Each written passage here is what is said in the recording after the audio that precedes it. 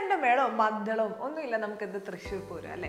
ഇന്ന് നമ്മൾ ഡിസ്കസ് ചെയ്യാൻ പോകുന്നത് ബി എ മദ്ദളത്തെ കുറിച്ചിട്ടാണ്. ബി എ മദ്ദളം. അങ്ങനെ ഒരു കോഴ്സ് ഉണ്ടോ? അങ്ങനെയാണ് നിങ്ങളിപ്പോൾ ചിന്തിക്കുന്നത് എന്നാൽ അങ്ങനെ ഒരു കോഴ്സ് ഉണ്ട്. ഇവ നമ്മുടെ കേരളത്തിൽ തന്നെ ഒട്ടുമിക്ക യൂണിവേഴ്സിറ്റീസും ഓഫർ ചെയ്യുന്ന ഒരു കോഴ്സാണ് ബി എ മദ്ദളം എന്ന് പറയുന്നത്. മദ്ദളം എന്ന വാദ്യോപകരണത്തിന്റെ ഹിസ്റ്ററിയും അതിന്റെ റിതമിക് കോമ്പോസിഷനെ കുറിച്ചിട്ടും അതിന്റെ കൺസ്ട്രക്ഷൻ കോമ്പോസിഷനെ കുറിച്ചിട്ടും ഒക്കെ ഡിസ്കസ് ചെയ്യുന്ന ഒരു ത്രീ ഇയർ കോഴ്സാണ് ബി എ മദ്ദളം എന്ന് പറയുന്നത്. Hand positioning stroke techniques rhythmic composition ഇതൊക്കെയാണ് ബി എ മദ്ദളത്തിൽ മെയിൻ ആയിട്ട് ഫോക്കസ് ആയിട്ടുള്ളത്. പ്രാക്ടിക്കൽ ട്രെയിനിങ്ങിനോടൊപ്പം തന്നെ മ്യൂസിക്കിനെ കുറിച്ചിട്ടും മ്യൂസിക്കൽ തിയറിനെ കുറിച്ചിട്ടും മ്യൂസിക്കൽ കോൺസെപ്റ്റ്സിനെ കുറിച്ചിട്ടും ഒക്കെ ഈ കോഴ്സിൽ നിങ്ങൾ പഠിക്കുന്നുണ്ട്. താളങ്ങളെ കുറിച്ചിട്ടും മെലോഡിക് കോൺസെപ്റ്റ്സിനെ കുറിച്ചിട്ടും അതുപോലെ തന്നെ മദ്ദളം എങ്ങനെ മറ്റ് വാദ്യോപകരണങ്ങളുടെ കൂടെ ചേർന്ന് ഉപയോഗിക്കാം എന്നതിനെ കുറിച്ചിട്ടൊക്കെ നിങ്ങൾ ഈ കോഴ്സിൽ പഠിക്കുന്നുണ്ട് മെയിനായിട്ട്. ഞാൻ ഓൾറെഡി പറഞ്ഞല്ലോ നമ്മൾ മദ്ദളം പഠിക്കുന്നതിനോടൊപ്പം തന്നെ മ്യൂസിക്കൽ കോൺസെപ്റ്റ്സിനെ കുറിച്ചും മ്യൂസിക്കൽ ഹിസ്റ്ററിനെ കുറിച്ചിട്ടും ഒക്കെ പഠിക്കുന്നുണ്ട്.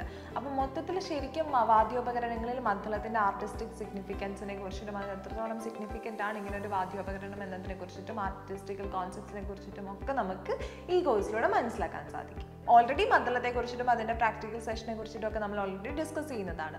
പക്ഷെ അതിനോടൊപ്പം തന്നെ നിങ്ങൾക്ക് പഠിക്കേണ്ട ഒരു സിലബസ് ആണ് മ്യൂസിക്കൽ കോൺസെപ്റ്റ് എന്ന് പറയുന്നത്. മ്യൂസിക്കൽ കോൺസെപ്റ്റിൽ മെയിൻ ആയിട്ട് നിങ്ങൾ ഇന്ത്യൻ ക്ലാസിക്കൽ മ്യൂസിക്കിനെ കുറിച്ചിട്ടാണ് പഠിക്കുന്നത്. അതിന്റെ റിതമിനെ കുറിച്ചിട്ടും സ്കെയിലിനെ കുറിച്ചിട്ടും നാവിഗേഷൻസിനെ കുറിച്ചിട്ടും ഹൈ ആൻഡ് ലോസിനെ കുറിച്ചിട്ടും ഒക്കെ ആയിരിക്കും ഈ ടോപ്പിക്കിൽ ഇൻക്ലൂഡഡ് ആയിട്ടുണ്ടാവുക.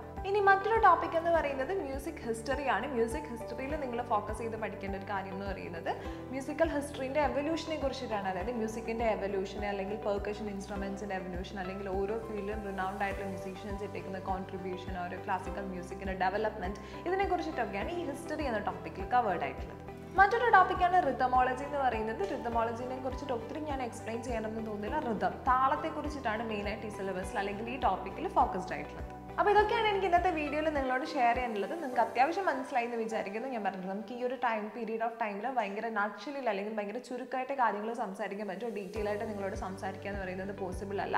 അപ്പോൾ കൂടുതൽ ഡീറ്റെയിൽസ് നിങ്ങൾക്ക് അറിയണം എന്നുണ്ടെങ്കിൽ നിങ്ങൾ നമ്മുടെ കസ്റ്റമർ കെയർ നമ്പറിലേക്ക് കോൺടാക്ട് ചെയ്യുക. ഉറപ്പായിട്ടും നിങ്ങൾ റിസീവ് ചെയ്യാൻ ഇവിടെ ആൾക്കാരുണ്ടാവും. സോ മറ്റൊരു വീഡിയോ ആയിട്ട് വീണ്ടും കാണാം. Until then this is Varsha saying bye to